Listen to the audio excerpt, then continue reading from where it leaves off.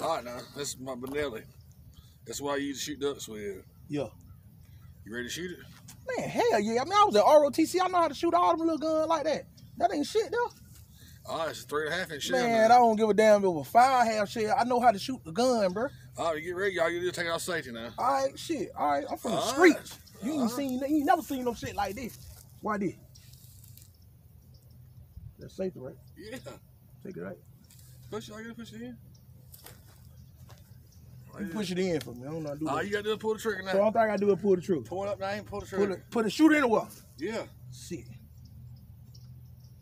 Damn it! What the fuck? Hey man, get this shit. I told Hell you, no, man. What the Andy Griffin type of shit that is, man?